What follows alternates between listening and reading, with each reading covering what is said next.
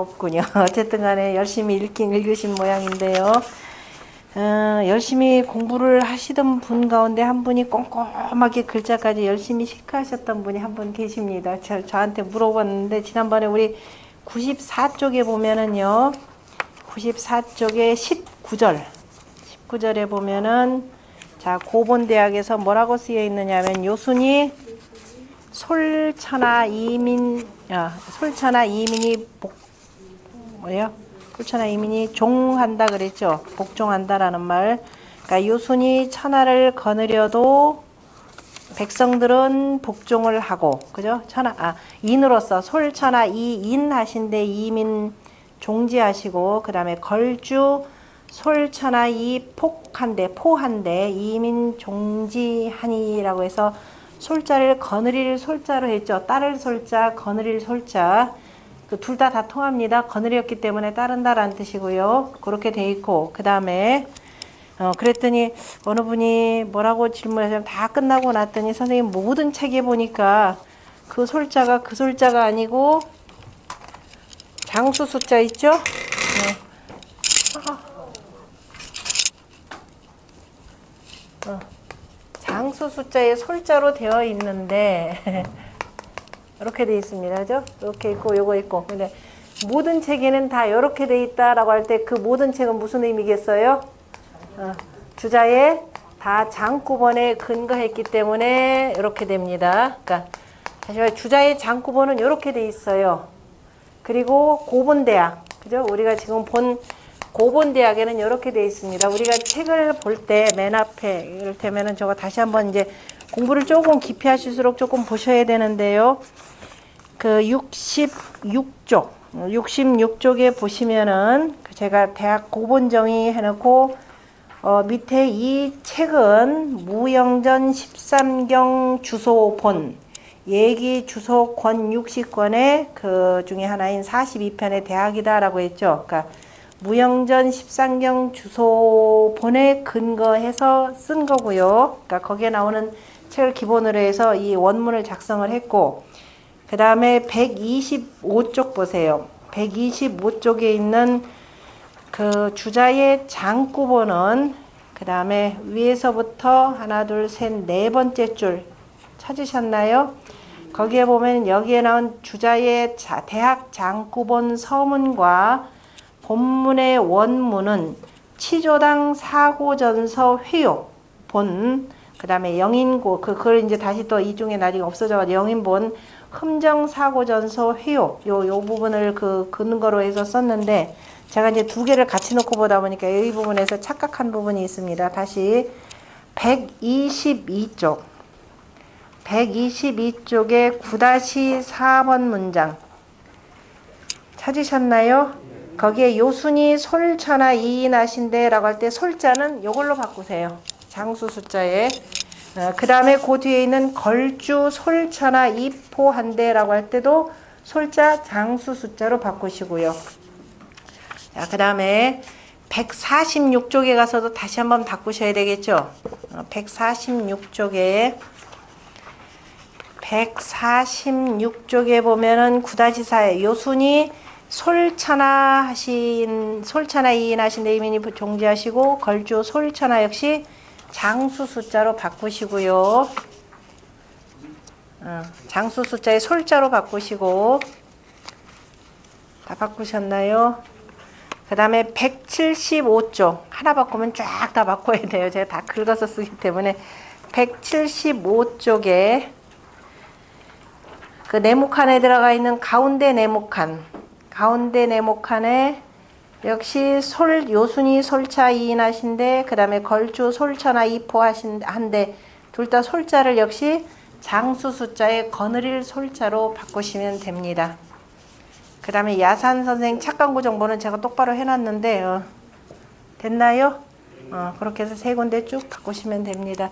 정확하게 잘 보셨어요. 원래 공부 옛날 원문 공부하시는 분들은 한 글자 한 글자 다 체크를 해보시는데 음, 하셨고 자, 그 다음에 그 어쨌든 지금 대학 장구본이다라고 하는 것은 치조당, 치조당은 강희제 때죠. 강희제 때 이 치조라고 하는 말이 우리나라에서 이 치자를 기본적으로 이로 읽으시는 분들이 좀 있습니다. 원래 중국 원문 발음 자체가 치조로 이렇게 발음되고 반고라고 하는 사람이 쓴 그 시 속에서 치조 여 춘하라 그래서 그 뭐에 조가 마른 풀이죠. 이게 물풀이 이렇게 이렇게 펼쳐져 있는 것이 마치 봄에 꽃이 만발한 것과 같다라고 해서 그 문장의 그 수식을 나타낼 때 쓰이는 말입니다. 그러니까 수사가 아주 풍부한 것을 치조라 이렇게 표현했고 강희제 때 이제 이것저것 책을 그 펴내고 하면서 특별히 그 집 이름을 치조당이라 이렇게 표현한 거죠. 거기서 나왔던 그 판에 근거해서 쭉 대조해 보면서 썼던 내용이고요. 그 다음에 우리 그 대학의 가장 마지막 문장이 지금 고본대학에서는 나라를 다스리는 데는 자, 이로서 이를 삼지 않고 의로서 이를 삼아야 된다라고 표현을 했었죠. 자, 여기에 근거해서 맹자가 뭐라고 표현했느냐면은 맨 처음 맹자의 맨 처음에 자, 이로서 그죠? 이로서 나라를 다스리지 말고 인이로서 다스려야 된다라고 하는 맹자의 인이론이 설파가 되고 자, 대학에서 이 말을 하기 전에 앞서서 먼저 뭐가 있었냐면 우리 논어에서 공자가 하신 말씀이 있었죠. 그 제자들이 선생님으로부터 가르침을 듣는데 우리 선생님께서는 주로 이건 이건 이것은 드물게 말씀하셨다라고 했던 내용이 있죠. 그게 뭐였던가요? 그게 드물게 드물게 말씀하셨다. 그 첫 번째가 바로 이입니다. 선생님 자한편이죠. 자한편에 선생님께서는 자하, 그죠? 자 자한, 그죠? 선생님께서 드물게 어, 드물게 말씀하셨다. 뭐를 이와 그 다음에 여, 여, 명과 그 다음에 또 여, 인이죠. 이렇게 표현하시죠. 선생님께서는 자, 이와 더불어서 명과 더불어서 인, 인자고 인을, 그죠? 인을 드물게 말씀하셨다라고 한 내용이 논어, 그죠? 논어 자한편 맨 첫 번째 나오는 내용입니다. 그런데 뭐 일부 어떤 사람들이 논어는 그죠? 논어는 인을 주로 다스려. 그건 말이 안 되죠, 그죠? 어, 그러니까 논어에서 한 얘기가 공자는 드, 드물게 오히려 누가 이 사람이 인입니까? 물어보면 뭐라고 그랬어요? 잘 모르겠다. 나도 그 사람이 인인지 아닌지는 모르겠다. 그러면서 다른 장점을 하나 들었습니다. 그래서 이에 대해서는 잘 말씀하지 않으셨고 그 얘기는 사람들이 잘 잘못하다가는 이를 뭐냐면은 사리사욕, 그죠? 개인의 탐욕을 주로 그 쓰는데 쓰일까봐 말씀을 거의 안 하셨고 그리고 그 뜻을 이어받아서 증자가 대학을 그죠 대학 대인지학 또는 뭐 태학의 도를 얘기를 할 때 바로 이 일을 나라를 하는 데는 뭐예요 일을 의로 삼 아, 일을 이로 삼는 것이 아니라 의를 이로 삼아야 한다라고 이렇게 표현했던 내용입니다. 꼭 명심하시고 그것이 나중에 맹자로 쭉 이어진다라고 하는 것을 같이 보셔야 됩니다.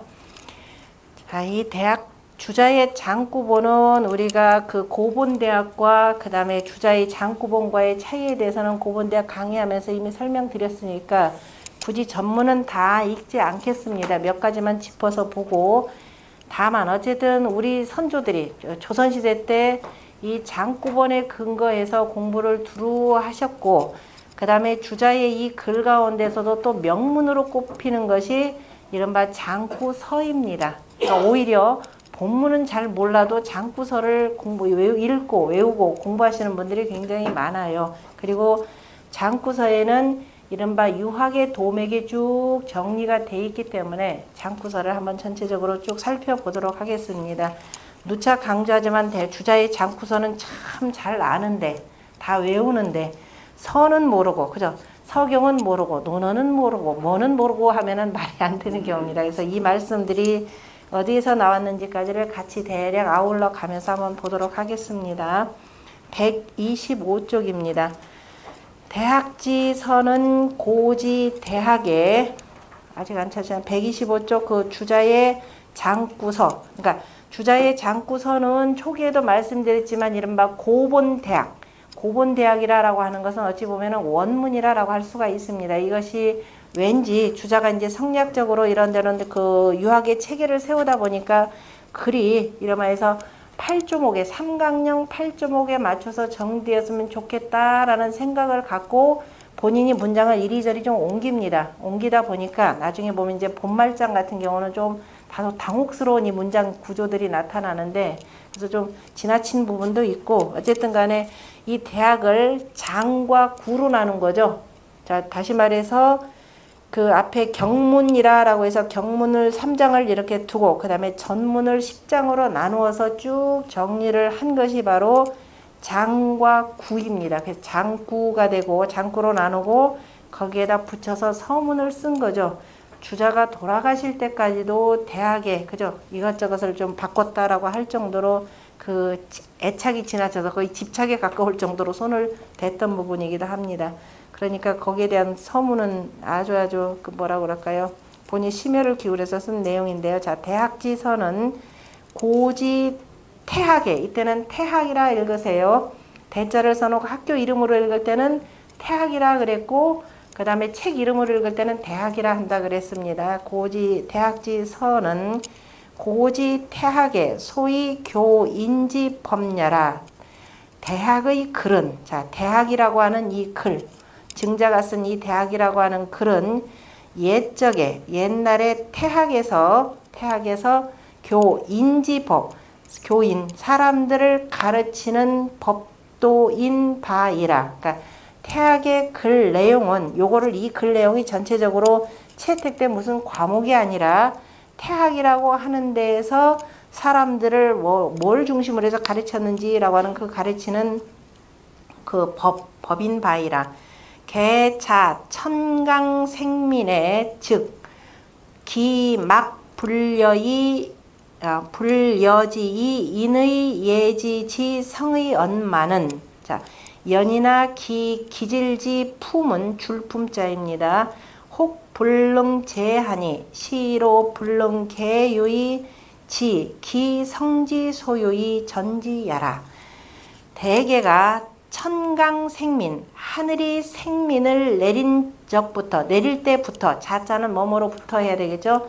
대개가 하늘이 생민 생민이다 그러면은 천생 증민에서 나온 거죠? 시에서 나오는 자 하늘이 묻백성들을 내었다라고 우리 몇 번 이거 나왔었죠. 천생 증민하시니라고.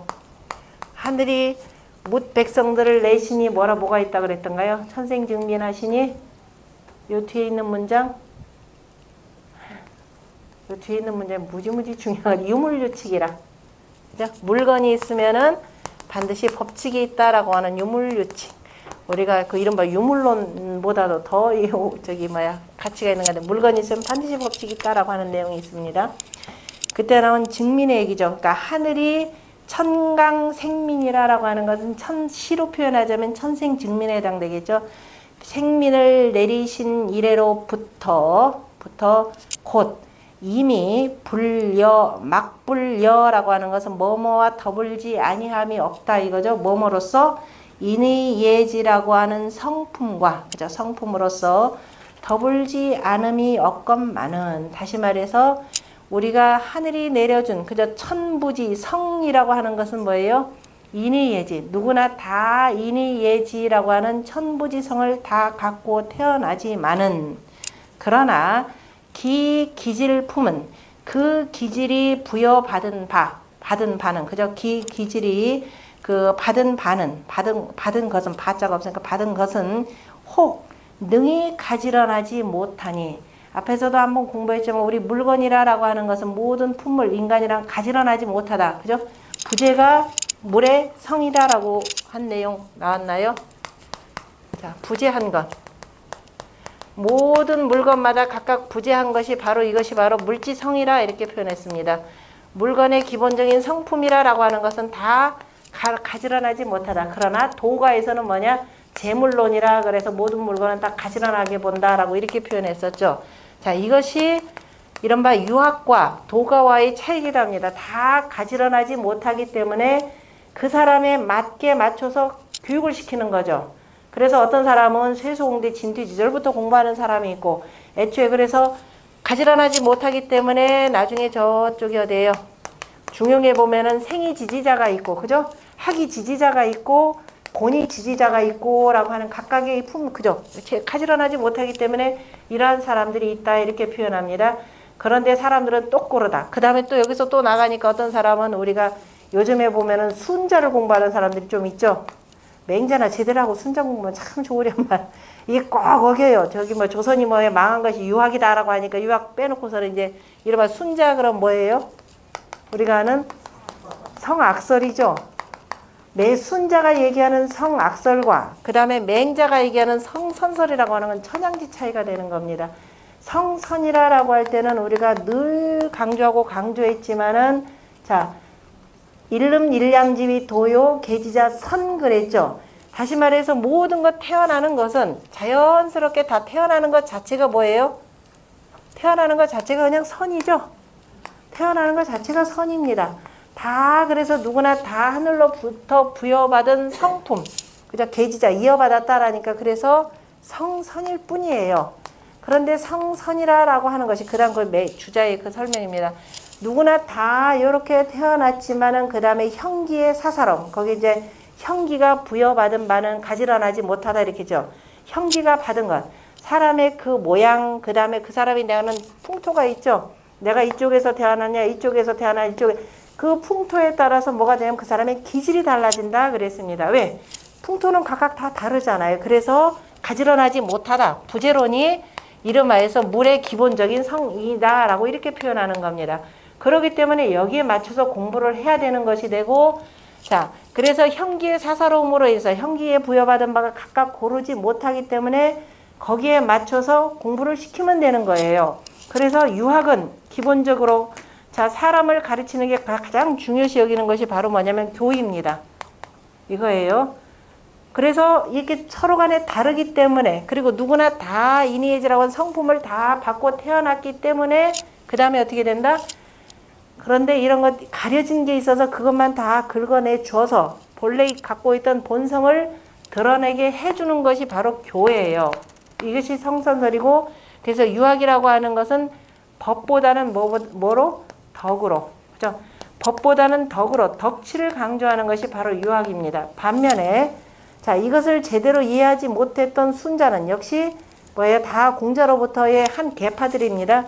제대로 이해하지 못했던 순자는 아니다. 사람이 어디 선하드냐. 그죠? 남의 거 있으면 뺏으려고 하고, 애초부터 악하다 이렇게 표현한 거예요. 악하니까 어떻게 해야 돼요? 이거를 강력하게 제어를 해야 되는 거죠.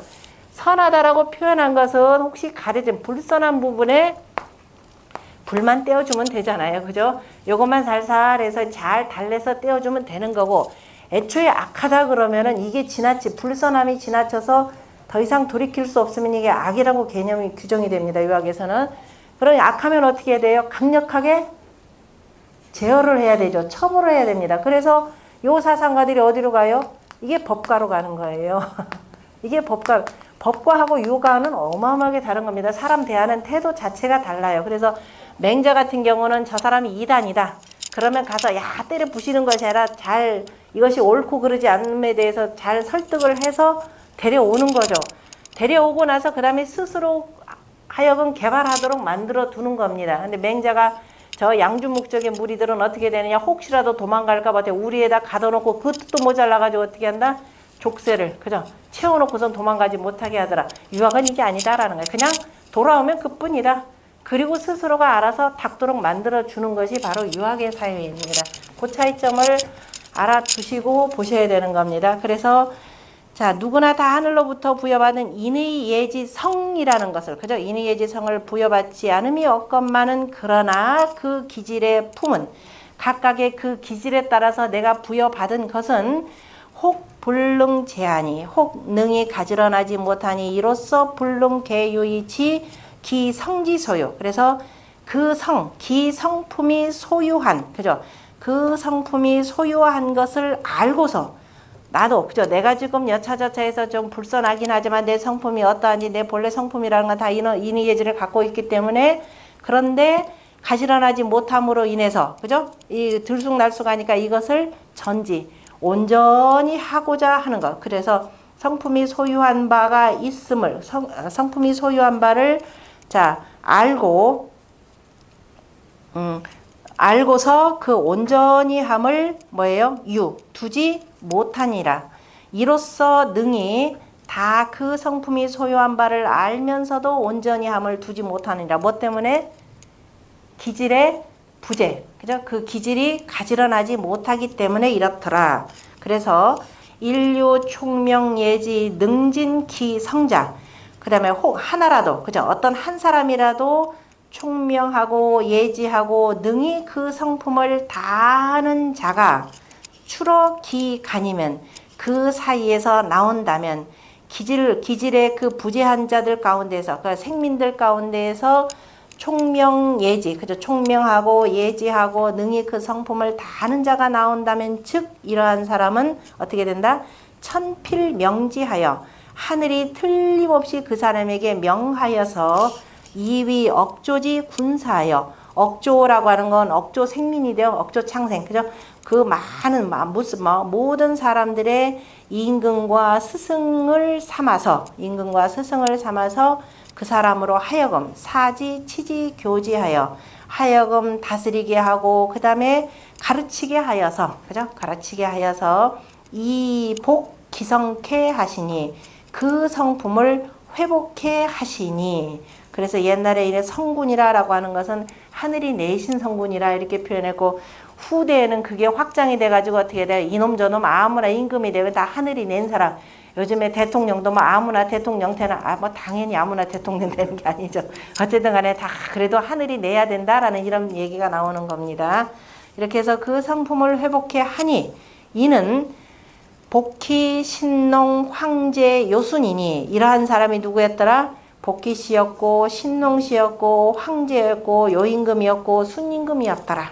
이 내용은 어디서 나오는 내용이냐면 이 사람들은 공자가 개사전에서 인류 문명을 크게 일으켰던 사람들 해서 쭉 거명한 이름들입니다. 그래서 복희 씨, 신농 씨, 황제, 요임금, 요순 이렇게 나오죠. 이 사람들이 이 사람들이 소위 이로써 개천 입극하여 이로써 이게 이러한 사람들로서 하늘을 이어서 입극이라라고 할 때 극이라고 하는 것은 황극이라라는 뜻입니다. 서경에서 임금 자리 다섯 번째를 오 황극이라라고 하는 가운데 자리가 되는 거죠. 황극. 바로 임금 자리에 해당되는 겁니다. 그래서 하늘을 이어서라고 하는 것은 하늘의 이 법도를 따라서 하늘이 원형 이정이라라고 하는 사덕을 두었다 그러면 사람은 인예의지가 되는 거죠. 인예의지라고 하는 그 덕을 그대로 이어서 입극 다시 말해서 임금 자리에 올라서 이런 뜻이 되겠죠. 임금 자리에 올라서 이 사도지 적과 직과 전학지 전을 소유 설려하시니라. 그래서 이분들이 이러한 사람들이 하늘의 법도를 그대로 따라서 그 다음에 임금 자리에 올라서 거기서 그친 것이 아니라 내가 다 다스릴 수 없으니까 백성들을 교화시키기 위한 사도의 직책과 그 다음에 전학의 관직을 두어서 그냥 관직을 두어서 소유 설려라. 이 그래서 관직을 소유 말미암아 설치하셨느니라. 따라서 개천 하늘의 법도를 쭉 펴서 다시 말해서 사람들의 본성을 회복시키게 하기 위해서 이렇게 이렇게 하였노라 이렇게 되어 있습니다. 뒤에 있는 개천 입극이라라고 하는 입극 이거 자체도 서의 말이 되고 사도지 직과 전학지 관이라고 하는 거 서경에 나오는 말이죠. 서경 공부하신 분들 바로 순임금이 나중에 천자가 되시어서 그죠? 순임금이 천자가 되시어서 바로 이제 개천 입극이 되는 거죠. 개천 입극 하셔서 제일 먼저 뭐 하신 이 이분들 앞에 전에 누구냐면은 우로 하여금 그죠? 그 우, 나중에 치수 사업을 냈던 우가 있죠.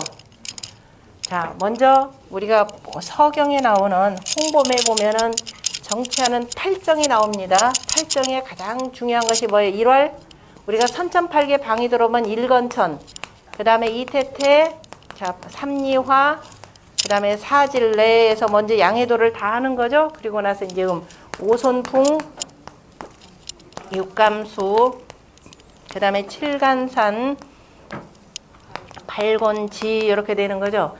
요 이치에 따라서 자 팔정이라는 것이 있습니다. 세 번째 서경 홍범편에 보면 팔정이 있는데 그 중에 일활식 정사에 가장 중요한 것이 백성들이 먹는 문제입니다. 일활식 그 다음에 이활화 재물이죠. 재화죠. 재화를 확보시켜줘야 되는 겁니다. 그 다음에 세 번째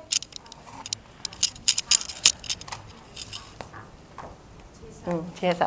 사. 그 다음에 네 번째 사공이죠. 네 번째 사공.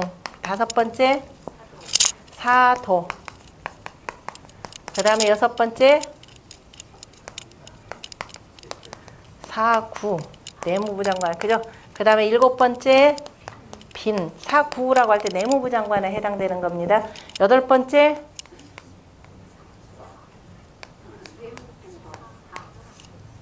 뭐예요?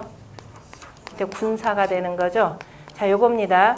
그러면은 자 순임금이 개천 입극하신 거죠. 개천 입극하셔가지고 그 당시에 무슨 문제가 있었느냐면은 홍수가 있었잖아요. 엄청난 홍수가 있었고 그 사학들을 또 두루두루 다스리셨습니다. 그 다스리셔가지고 그 다음에 그 제일 먼저 중요한 것이 그래서 그게 뭐냐 국가의 치수 사업이 중요했습니다.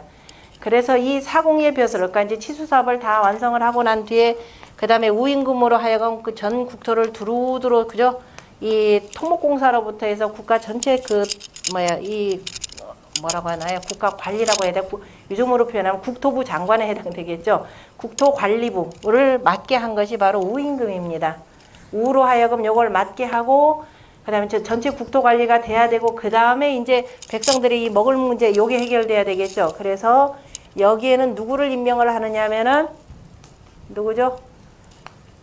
자 버린다라고 버릴 기자 기 기로 하여금 뭘로 삼았다? 후직 후직이 되는 거죠. 이 나중에 여기 이제 봉투에서 이 사람 이 사람이 누구가 되느냐면 나중에 주나라의 가장 최고의 조상이 되죠. 문무의 조상이 되는 게 바로 기입니다. 기로 하여금 후직을 삼고 이렇게 돼요.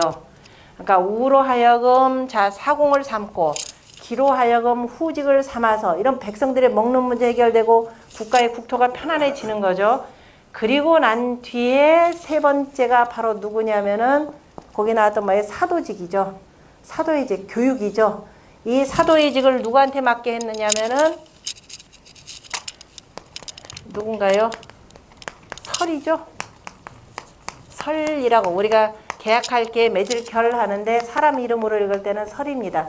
설로 하여금 사도의 직책을 맡게 했고 그래서 모든 그 누구의 백성들의 으뜸가는 스승을 만들었고 그 다음에 조금 더 깊숙이 들어가서 그러면은 이제 구체적으로 뭐예요 이후에 관리가 될 자식들을 가르쳐야 되잖아요 그죠 그래서 이른바 나라의 장자들을 누구한테 가르치냐 하느냐면은 누구였나요 기라고 하는 사람이죠 음, 기에게 그 나라의 장자들을 가리키게 했는데 그 뭘로 가리키게 했느냐 음악으로 가리키게 했다라고 해서 그 전학지 관에 해당되는 겁니다. 이렇게 되는 거예요. 그죠? 전학지 관을 두었더라. 이렇게 해서 뭘 하는 거예요? 사람의 뭘 회복시키는 거예요? 인성을 회복시키게 하는 겁니다. 그죠? 근데 요즘에 자 올해 7월 달부터 인성교육법이 발령이 되고 내년부터 시행령이 나와가지고 내년부터는 이걸 설명을 해야 됩니다. 그죠? 그런데 이걸 아무한테나 저 뭐 우리 뭐 한자 지능교육 뭐 한다고 하면서 모든 학원에다 이렇게 하니까 안 되겠다 싶고 검정교육 뭐에 교육시키니까는 뭐 이것도 문제 있다니까 조금 양심은 있었는지 어떻게 되느냐 아무한테나 가르치게 하는 것이 아니라 이 인력들은 누가 배출하도록 대학 아, 아직 안 읽어보셨어요? 예절교육 선생님들 그런 거 알아야죠. 이건 대학이 전담하도록 만들었습니다. 자 아침에도 얘기했지만 오늘날 대학은 어떤 대학들이에요? 대, 옛날에 보면 대학 그럼 우리 이전만 하더라도 대학은 무슨 전당이다? 지성의 전당이 되었습니다. 요새 어떤 대학이 지성의 전당하고 하는 데 있어요? 지성의 성이 뭔지를 몰라요. 그래서 야 인성이라는 게 뭔가 하다가 우리 점심 먹으면서 아까 얼마나 박장대소 하고 웃었는지요. 그래 사람의 성은 두 가지가 있더라. 무슨 성이 있고 무슨 성이 있더라? 사람의 성이 두 가지잖아요.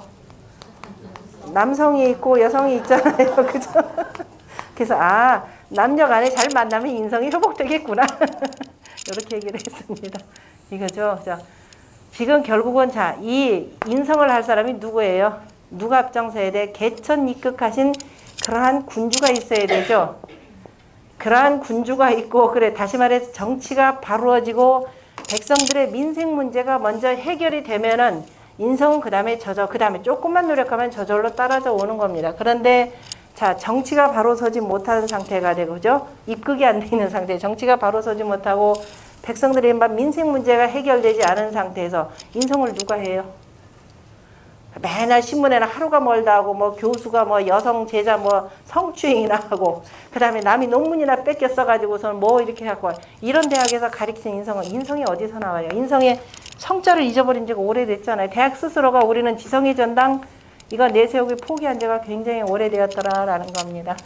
가르치는 사람들이 요거 대목이라도 좀 알고서는 하셨으면 참 좋겠다마는 자 여기 나오는 내용이 자 순서가 그렇게 되는 거죠. 지금 이것만 보자면 순수한 교육만 가지고 되는 것이 아니라 교육 이전에 앞서서 해결돼야 될 얘기가 바로 뭐냐면 민생 문제예요. 그죠? 젊은이들이 아까 뭐 우스갯소리로 그래 남성 여성이 제대로만 만남만 제대로 돼도 되는데 요즘에는 젊은이들 3포 세대죠. 아예 결혼하는 것도 포기하고 연애하는 거 더더욱 포기한 지 오래가 됐습니다. 그죠? 이 속에서 무슨 성이 있을 것이며 그 다음에 민생 문제 해결되지 않은 상태에서 거의 이거는 그 생활 자체가 핍진하게 되기 때문에 인성이라고 하는 것이 자 교과서 보고서는 뭐 책 보고 가르치는 게 가르쳐지는 게 아니죠. 인성은 자연스럽게 우리가 보고 배우게 되는 겁니다. 거기다가 이제 이런 문제가 해결되고 나서 그래도 부족하기 때문에 별도로 따로 교육기관을 설치해서 가르치는 것이 그게 인성이 되는 거죠. 음. 자, 그 순서가 그래서 개천 입극하여 일단 정치가 정치가 바로 서야 되는 거죠. 정치가 바로 서고 난 뒤에 그리고 이제 그리고 나서 먹는 문제 해결 다 되고 그리고 부족하니까 사도의 직분과 전학의 관을 통해 가지고 이로 말미암아서 가르침을 베푸는 것이니라. 그 다음에 두 번째 문단 삼융지 융의 기법이 친비 연 후에 왕궁국 도로 이기 여항이 골 뭐 마을 여자죠 여 골목길 항자입니다. 여항이 막불 유학하니 거기까지 3대가 융성함에 3대가 어디예요? 그동안 여러분들 이거 주자 장구서 읽으려면 모든 공부한 게 쫙 다 드러나야지 3대 유학 공부하는데 기본으로 항상 익히시라고 했죠 3대 어, 하운주 3대 용감하게 하세요. 틀리면 틀리는데. 자, 하운주 3대라고 하는 건 당연히 뭐냐 앞에 있는 요순 들어가는 거예요. 그죠? 하은주 자 3대가 되는 거죠. 하은주 이거를 3대라 표현하고 여기다 사망이라라고 표현하는 건 누구예요? 하나라의 우임금. 그러니까 요임 순임금을 이어서 우임금. 그 다음에 누구예요? 탕임금. 그 다음에 자, 무왕인데 여기서 우리가 문무 이렇게 들어가는 거죠. 아, 아비와 아들이니까 그냥 문무 해서 같이 삼, 삼 이거를 바로 사망이라 그럽니다. 그러니까 3대가 융성할 때라고 하는 것은 자, 이분이 순임금을 이어받아서 나라를 통치하고 그 다음에 두 분은 탕무 혁명하신 분들이죠. 자, 탕무가 됐고 여기서 이제 여기 때 정도가 이때는 뭐 태갑일 때까지 뭐 보면 되고 최고로 그 다음에 여기는 그 다음에 이제 성왕 때까지 보통 한 2에서 이제 한 몇 년 정도는 그렇게 될 텐데 한 100년 정도. 그러니까 하은주 3대가 융성할 때에 그 법이 점차 점차 갖추어진 뒤에 그죠? 이제 나라의 법도가 법이다라고 할 때 우리가 오늘날 얘기하는 무슨 뭐 형법 체계 뭐 헌법 체계 이게 아니죠. 나라의 뭔가 예법 등등이 그죠? 법과 제도가 다 갖추어지고 난 뒤에 왕궁과 국도로 왕궁의 국도로 왕궁이 있는 곳이 나라의 도읍지가 되는 거죠. 왕궁의 국도로서 이급 여항이 그러니까 저 높이는 자 나라의 뭐예요 도읍지로부터 저 시골 마을에 이르기까지 여항이라라는 겁니다. 마을 여자 골목길 항자니까 저 나라의 구석구석까지 이렇게 되는 거죠. 어, 그러니까 국도로부터 저 나라의 그 시골길까지 다 막 분류학하니 다 가르침이 있지 아니함이 없으니 다시 말 가르침이다 배움이라라고 하는 건 여기서 학자는 학교가 되겠죠. 학교가 있지 아니함이 없으니 다 가르침이 있었으니 배움이 있었으니 인생 8세면 사람이 태어나서 8살이 되면 이렇게 뜻이죠. 인생 8세. 사람이 태어나서 8살이 되면 즉 이때 세자는 요 세자 쓰면 안 되겠고 오타난 것 같은데요. 이 세자는 이 세자로 써야죠. 그죠? 지금 보니까 8세 그러면 3, 몇 년이에요? 3, 38에 2세 240년이 되니까 틀렸죠? 어, 세자로 고치세요. 8살이 되면 즉 자왕봉 이하로 지어 서인지 자제 히 돼 있죠. 앞에 있는 자하고 뒤에 있는 지가 있죠. 자 A 음, 그죠? 어. 자 A G B 그러면 어떻게 돼요? A로부터 B까지 이렇게 되니까. 그래서 자 왕공 이하 그러니까 왕공 이하로부터니까 왕뿐만 아니라 왕과 공과 그죠? 그 밑에 있는 모든 그저 직분을 가진 직책 있는 사람들로부터 그 다음에 자 어디까지? 서인의 자식들까지. 자제 그러면 자식과 형제의 개념이니까 서인의 자제에 이르기까지. 그 옛날에는 이제 토를 자 뒤에는 로 붙이고 지 뒤에는 어디 어디까지니까 희자를 이렇게 붙인 겁니다. 그러니까 저 왕공으로부터 시작해서 저 서민들의 이르기까지 서민들의 자식에 이르기까지 그러니까 왕공의 자식들로부터가 되는 거죠. 서민의 자식들의 이르기까지 개입 소학하여 다 소학에 들어가서 이 교이 교지 쇠소 응대 진퇴지 절과 예악 사어 서수지 문하고 자 소학에서는 뭐 한다고요? 굉장히 중요한 내용이니까 다 정리하셔야 됩니다. 뭐 했다? 아이고 이거 지우면 안 되는데 새, 물 뿌릴 새자죠? 어. 물 뿌릴 새자 그 다음에 쓸 소자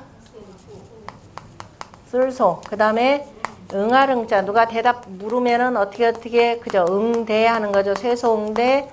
그 다음에 어른이 불렀을 때 앞에 나아갈 때 나아가는 자세 그 다음에 물러가는 자세. 이것이 진퇴지 절이죠. 절도를 배운다 이 소리예요. 소학에 들어가서 절도를 배우고 그 다음에 뭐예요? 예. 어, 예와 악과 그 다음에 사와 사어 어와 서와 수와 이거를 전부 다 뭐라고 한다? 이 절도를 다 빛나게 하는 것이다. 그렇기 때문에 물입니다. 문. 절문이 되는 거죠. 그러니까 우리가 단순히 절문에서 이거 어떻게 해석을 할 거냐. 다시 말해서 이런 절도. 그래서 다시 말해서 이 앞에 있는 이 내용은 내가 사람들과 접할 때 태하는 뭐예요? 태도가 되는 것이 되겠죠. 태도. 그래서 보통 그걸 흔히 예절이라고 표현하는데 거기에다가 이 절도를 더욱더 빛내게 하려면 스스로가 갖추어지는 덕목이 있어야 되겠죠. 내면의 덕목을 기는데 기본적으로 이해가 되고 그 다음에 악으로서 스스로를 그죠? 내면의 품성을 더욱 기르고 그 다음에 사와 어로서 더욱더 절도 있게 사라고 하는 것은 나중에 중용에 나오지만은 사야자는 유사호 군자라 그랬죠. 활을 쏘는 것은 군자와 비슷하다. 그래서 실저 전곡이거든. 만약에 그 내가 활을 쏘았는데 관역을 맞추지 못하거든. 어떻게 한다? 너 왜 내가 활을 쏘는데 자꾸 방해하니? 저 바람 때문에 이렇게 하지 말라 그랬죠. 반구적 귀신이라 스스로 몸을 돌이켜라 그랬습니다. 그래서 중도를 잡는 것이요. 그 다음에 말 모는 것이라고 하는 것은 나 혼자 하는 것이 아니라 함께, 그죠? 함께 이른바 네 마리 말을 몰아가면서 하는 거기 때문에 같이 어떻게 협동할 것인지 등등 세상이랑은 나 혼자 사는 게 아니죠. 그래서 자, 이 사어를 배우는 것이고 단순히 체육이라라는 거, 체육도 실은 원래는 그런 뜻인데 우리나라 또 체육은 또 무슨 체육이 돼야 돼요? 특기 체육이 되고 무슨 뭐 경기 나가서 1등 해야 되는 이런 체육이 되니까 나머지는 전부 다 구경꾼 만들어 버리죠. 자, 어쨌든 같이 협동 교육 과 더불어서 군자의 특기도 이 활속이라라고 하는 건 굉장히 중요합니다. 그리고 나서 서 글이죠.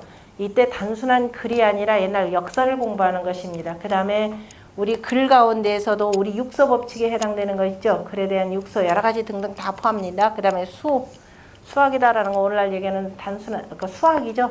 수학이라라고 하는 거 군자가 이 수학을 공부하는 것은 나라의 정전법을 나누는데 어떤 방식으로 나눠야 되는지 방정식부터 시작해서 천문학까지 다 포함되는 것이 바로 수입니다. 이것을 공부하는 것이다 이렇게 표현했습니다. 그것이 어디서 가리키는 것이냐? 자 어디서부터 소학에 들어가서 그죠? 두 번째 나온 예약사와 서수 지문이라고 하는 것은 실은 평생 가야 되는 거예요. 평생 가는 것이 되고 당, 당연히 다 익혀가지고 다 평생 가는 것인데요. 소학에서 이렇게 하고 여덟 살이 되면은 여덟 살이라고 하는 것도 무슨 소리인지 알겠죠? 8개죠. 8개가 되면 기본적으로 웬만한 그 물이라고 하는 것이 다 형성이 되기 때문에 그래서 8세가 되면 이렇게 해서 들어간 요즘에도 옛날에 갔는데 요즘에도 초등학교 들어가는 게 몇 살이에요? 8살이라 그러는 거죠. 틀림없이 맞죠. 그래 야 너무 늦다 그래가지고 어떻게 돼한살 좀 빠르게 하자 그랬다가 아, 다 실패했죠. 요즘엔 거의 다시 여덟 살로 돌아갑니다. 사람이 스스로 간에 그저 이 품성을 자연스럽게 부모로부터 받는 때가 있고 다른 사람을 통해서 받는 요 시기가 다르다라는 거죠. 그리고 나서 급기 12호 5년이면 몇 살에 이르면 열하고 일 10까지가 완성이 되는 수니까 그 뒤에다 다시 더 붙이려면은 유라고 하는 글자를 붙입니다. 열하고 그죠? 열을 하고 5를 더 두면이니까 15년. 다시 말해서 15살이 되면 그죠? 15살이 되면은 자 천자지 원자 중자로 이지 공경대부 원사지 적자와 여 범민지 수재희 개희 태학하여 이때도 태학이라 됩니다. 태학하여 이 교지이 국리 정심 수기친지 도하니 거기까지 그래서 하다가 15살이 되면 그러니까 태학과 아니 소학과 태학이 되는 거죠. 자 소학에서 몇 년간 익히냐면은 15살 때까지니까 대략 몇 년이에요? 7년 어, 대략 7년 익히고 우리 요즘 말로 하면 초등학교 나오고 약 중학교 중등학교가 되는데 중등학교 과정이라는 게 실은 보면 황당하죠. 그러니까 소학에서 웬만 초등학교 교만 웬만큼 마치면 우리 뭐 세상 살아가는데 문제될 거 하나도 없죠. 있어요? 중학교, 고등학교 가서 더 배우는 게 뭐예요? 초등학교 교육 조금 더 강화를 해서 역사 교육 시키고, 그죠? 하면, 하면 되는 거, 나머지는 중학교, 고등학교 가서 뭐 배우든 저는 맨날 수학에서 뭐 미분적 분해가 제일 골치 아픈 것만 나와서 우리 같은 사람 하나도 쓰여먹지 못하는데 별도로 갈 사람들은 이렇게 하면 되는데 그래서 한 7년 정도 하고 그래서 이제 우리나라 최근에도 뭐 이 학제 개편하자라는 얘기 나오잖아요. 왜냐하면 중등학교 시절이 다시 6년이라는 게 어마어마하게 기니까 요걸 줄이고 초등학교도 좀 줄이고 중등 과정 다시 줄이고 요렇게 해서 나면 대략 요게 맞습니다. 한 15살, 16살 정도 되면은 대학으로 보내라 이 소리예요. 그래서 각각의 전문 분야를 이렇게 하도록 만드는 거죠. 근데 요즘에 대학 들어가도 뭐 정식으로 전문 학교도 없어졌죠. 전문학교 없어지고 대학이 뭐 전문학교도 전부 다 대학처럼 4년제 과정 되고 대학에서 전문 과정도 제대로 안 가르치죠. 제가 무슨 말이냐면은 대학에서 뭔가 전공한다라고 해서 내가 컴퓨터 공학과 들어가더라. 뭐 이것저것 뭐 만, 하는 건 전부 어디 가서 배우던가요? 학원 가서 배워요. 황당한 나라예요. 그래 내가 뭐 요리 배운다 해서 무슨 뭐 전문학교가 4년제로 되면서 갔다. 정작 또 요리 정말 실습하고 하려면 어디 가요? 학원 가서 전부 다 자격증 따고 있어요. 이게 무슨 놈의 교육의 낭비예요. 그죠? 어. 그러니까 옛날에 그래서 15살이 되면 이제 이때부터는 어떻게 되느냐? 신분이 차이가 나는 거죠. 어차피 공부할 놈 공부하고 그 다음에 놀 놈 놀고 이게 하게 되니까 자 어쨌든 옛날 관리라고 요즘하고는 이건 조금 다릅니다. 옛날에는 어쨌든 음서제도에서 대체로 관직들이 세습이 되고 하는데 원칙상 저기 뭐야 그 제대로 된 나라에서는 그건 안 하는데 일단은 보세요. 자 천자의 원자와 중자 원자 그러면은 장남 중자 그러면은 여러 자식 그러니까 천자의 원자다 그러면 그 다음에 아버지를 이어서 임금이 될 사람이 되는 거죠.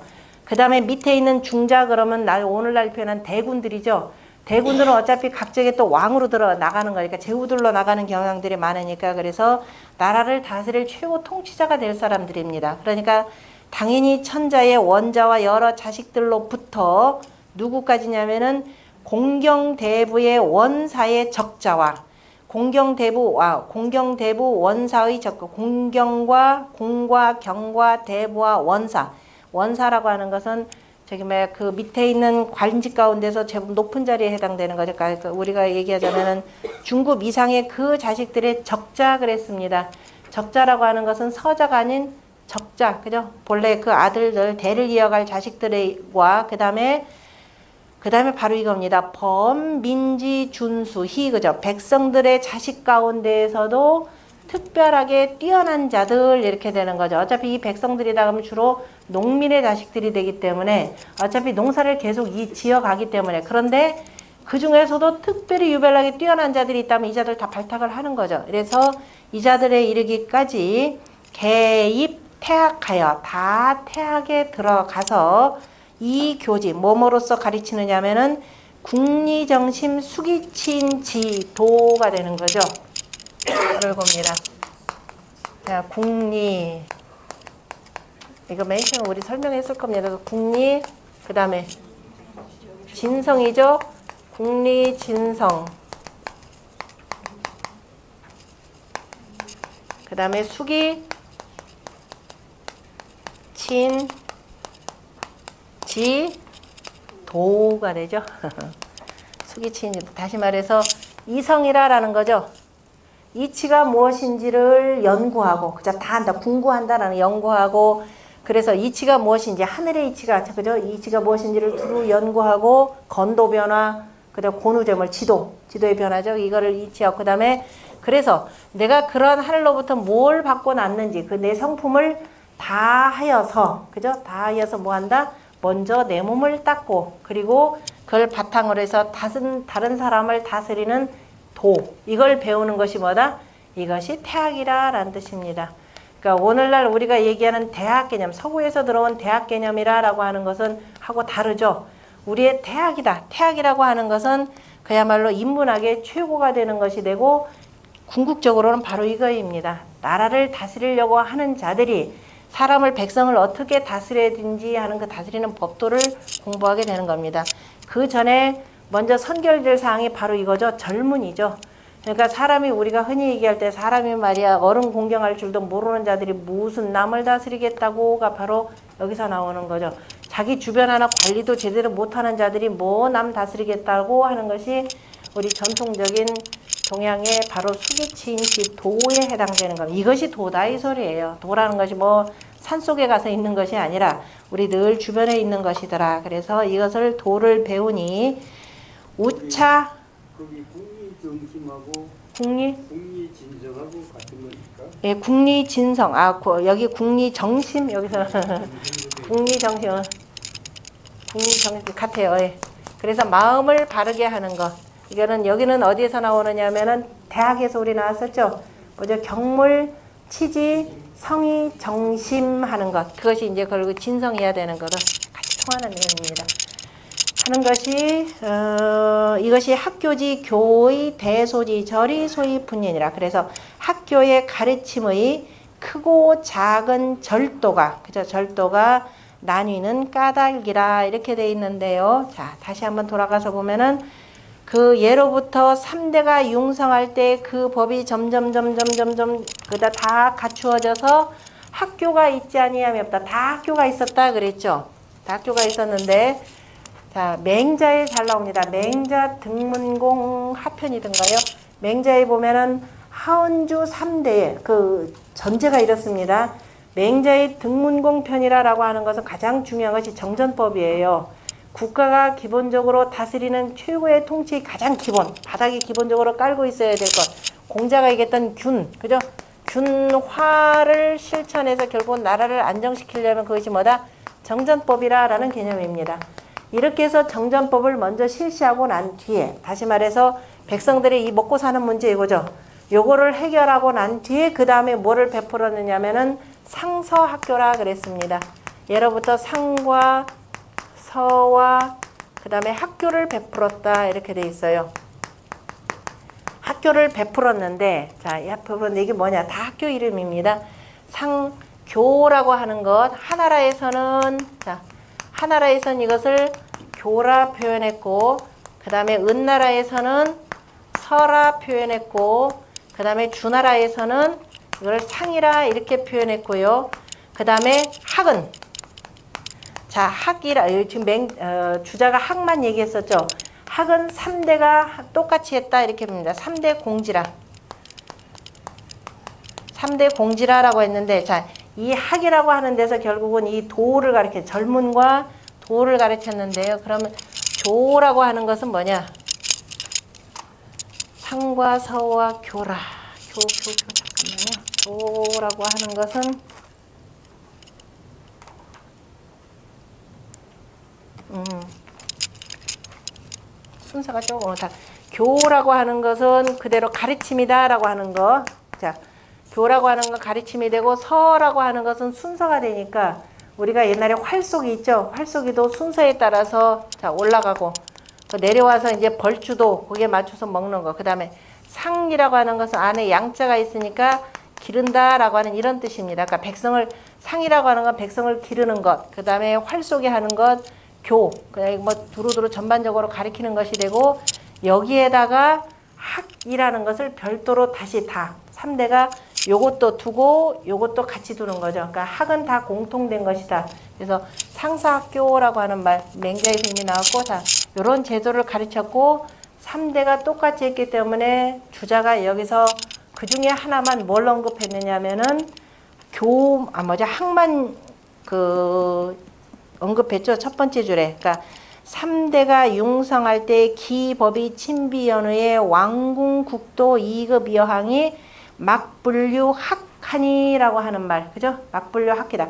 학이 있지 아니함이 없었다는 학교가 있지 아니함이 없었다라고 하는 것은 자, 나라 시대별로 사망 시대별로 뭐냐면 3대별로 교와 서와 상이라고 하는 것을 두었다. 거기에다가 별도로 그죠? 다 똑같이 다음에 학교라고 하는 것을 두었고 그 다음에 소학이 있고 태학이 있더라라고 하는 겁니다.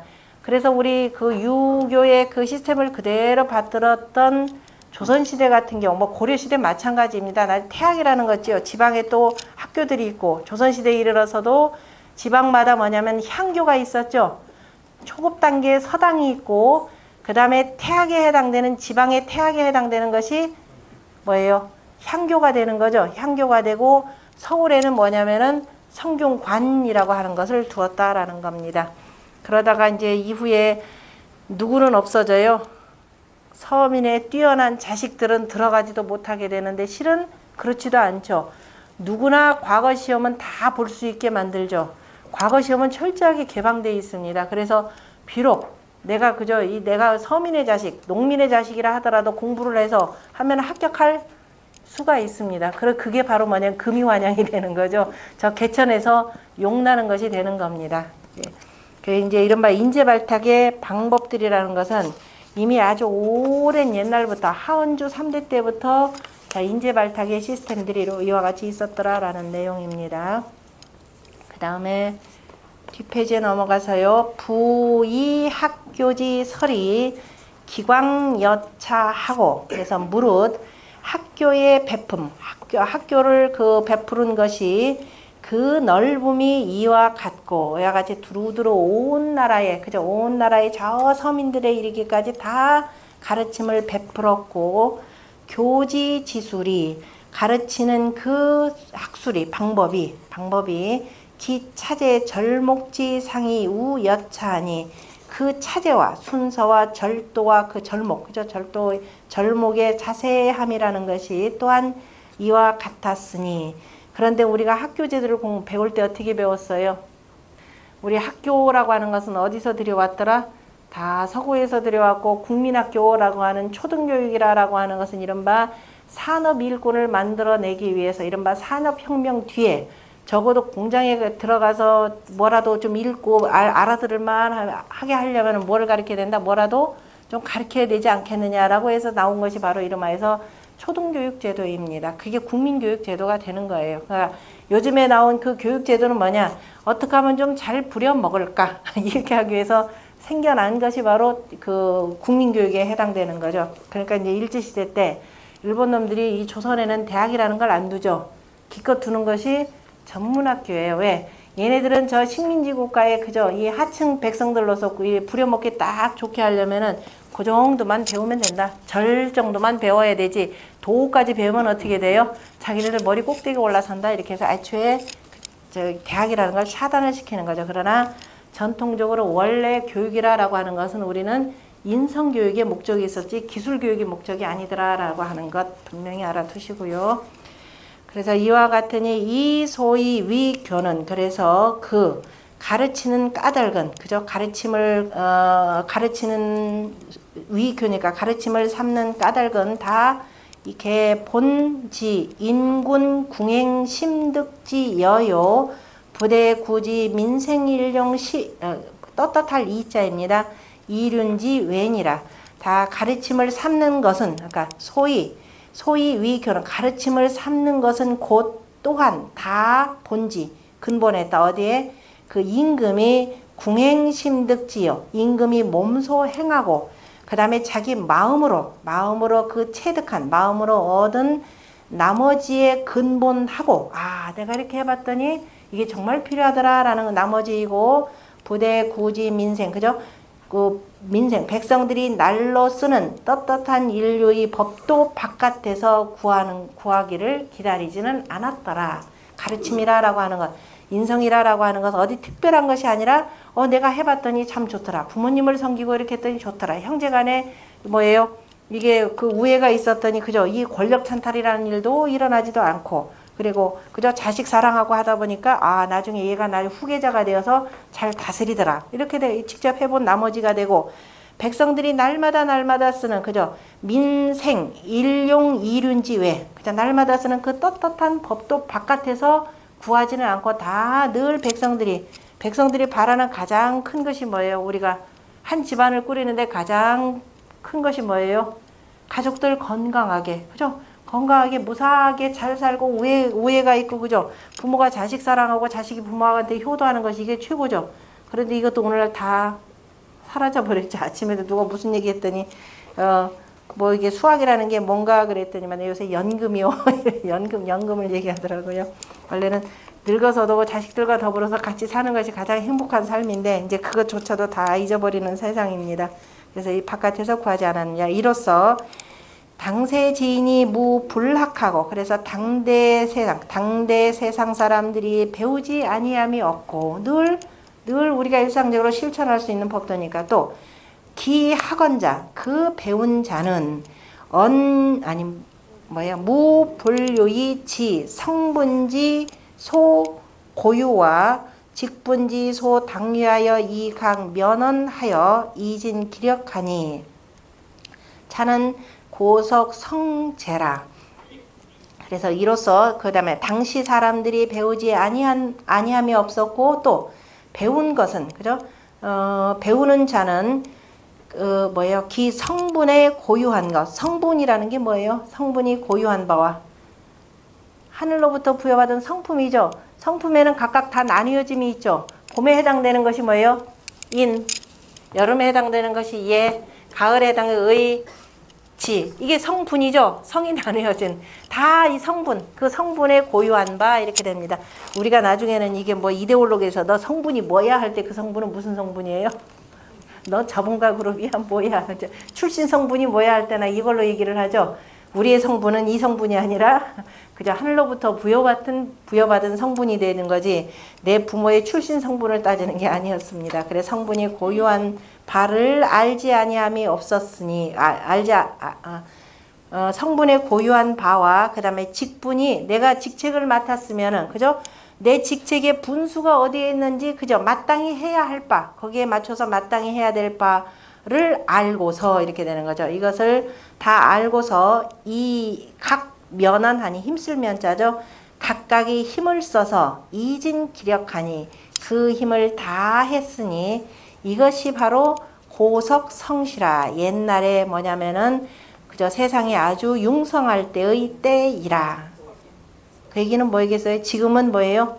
지금은 그런 세상이 다 지나가고 없더라. 그래서 아 옛날이요 하는 겁니다. 예, 그 옛날도 어디냐면 아 옛날에 사망이 성할 시대요 이렇게 표현하는 거죠. 소위 치룡어 상해. 그래서 위에서 위에서라는 건 임금이 그죠? 저 위에서 임금이 다스림을 그저 잘할 때 치룡이니까 다스림이 융성할 때에 속 미여 하하니 그 풍속이 아래에서도 아름다웠으니 이 비후세치 소능 금년이라. 이거는 후세의 능이 미칠 바가 아니니라. 후대에는 이러한 그저 아름다운 미풍 양속들이 다 없어졌더라. 이게 지금 몇 년 전에 한 얘기예요? 지금부터 천년 전에 주자가 언제 때를 그리워하면서 저 공자 저 훨씬 전이니까 그저 1500년 전, 2000년 전을 그리워 그러니까 3000년 전까지를 그리워하면서 얘기했으니 이후에 이런 그저 요순의 태평성대와 같은 세상은 거의 없어졌더라. 뭐 적어도 주나라 때까지 이런 세상은 없어졌더라. 근데 실은 그 없어지는 것을 슬피, 슬피 여기면서 아 세상 무너지는 것을 한탄하신 분이 바로 누구였냐면은 춘추시대의 공자였죠. 공자가 가장 안타까이 여겼던 게 바로 정전법 체제의 무너짐이었습니다. 정전법 체제의 무너짐이었고 그 아예 씨앗조차도 말라버린 때가 언제냐면은 전국 시대입니다.